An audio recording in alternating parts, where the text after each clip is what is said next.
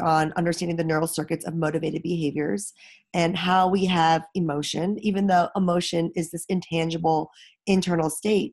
Um, I think that this is sort of the core of what life is. And life can be more than that. But I think at the core, we are working through our environments to seek rewards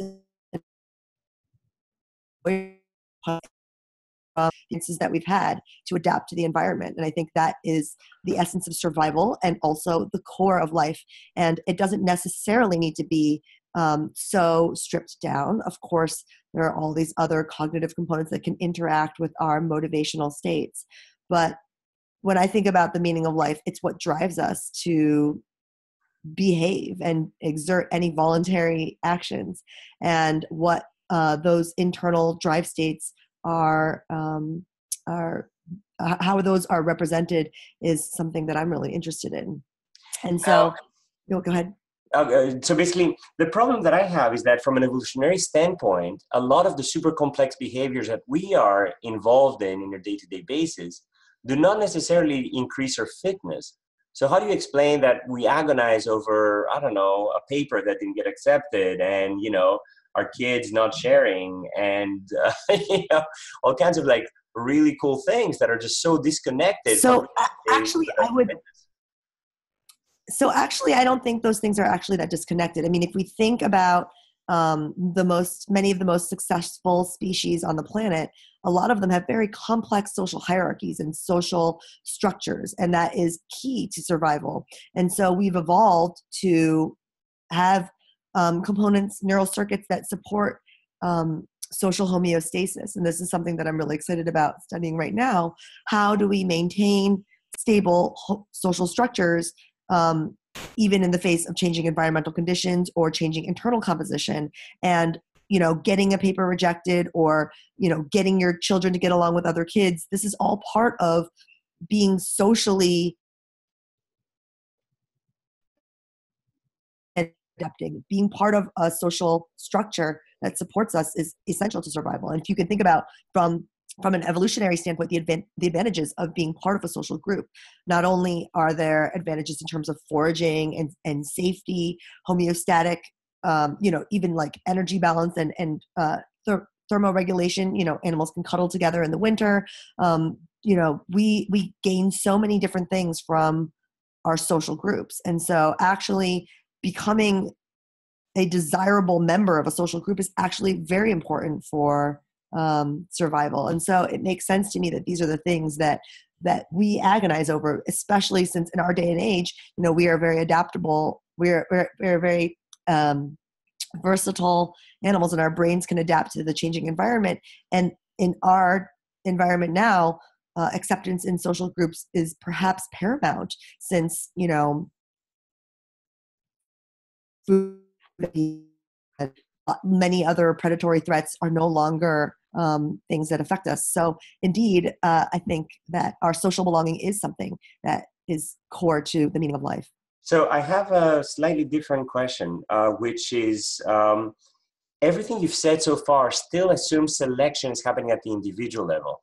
And yet, some people will kill themselves to take a cool selfie. And sure, that might improve their social standing, but their reproductive fitness is dramatically reduced after dying.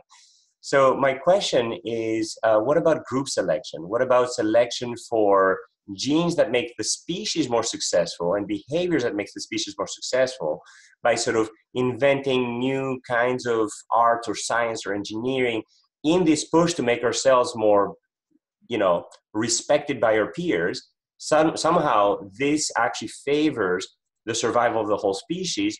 And the genes that we're selecting for in that quest for belonging or that quest for respect are not necessarily going to, you know, uh, be uh, selected at the individual level, but they might be selected at the species level. Do you see that as playing a factor in this emergence of these super complex behaviors, or do you feel that individual level selection is sufficient to explain that? Um, no, that's that's a great point, and I definitely do think group selection is hugely important, and you can see some examples of that. Um, of of it's not necessarily your own. Uh, so I don't I don't know I don't know I don't have any comments about the person who had killed themselves for a selfie.